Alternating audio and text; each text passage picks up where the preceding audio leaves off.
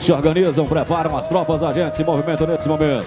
No último domingo, 18 de dezembro de 2022, foi realizada a 11ª Cavalgada de Capoeira do Milho, onde aconteceu a missa de vaqueiro com o Padre Cícero. E logo após, desfile de cavaleiros e Amazonas. E entrega de premiações do evento, Festa Dançante com Cirlan Santana.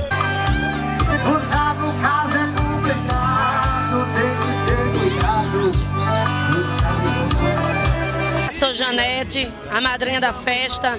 A gente agradece primeiramente a Deus por ter concedido esse momento. Agradece segundo aos grupos que compareceram, aos amigos, comerciantes que abraçaram a nossa festa. Então, obrigada a cada um de vocês. Que Deus possa conceder um feliz Natal, um próximo ano novo, repleto de saúde e prosperidade. Estamos aqui.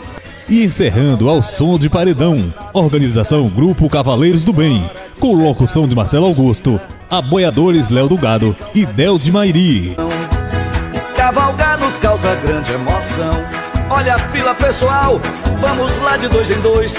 A festança tá bonita e a cerveja vem depois. O bailão